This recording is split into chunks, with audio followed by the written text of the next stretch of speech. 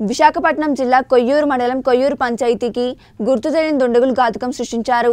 స్థానిక టీడీపీ నాయకుడు కొయ్యూరు మండలం రాష్ట్ర ప్రధాన కార్యదర్శి తోట దొరబాబు బైక్ని ఎత్తుకెళ్ళి సమీపంలో ఉన్న హైస్కూల్ ఆవరణలో దగ్ధం చేశారు.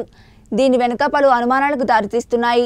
రాజకీయ కోణమా లేదా వ్యక్తిగత కక్షలా దీని వెనుక ఉన్నది ఎవరు? ప్రజలు నాయకులు తీవ్ర సందేహం వ్యక్తం చేస్తున్నారు.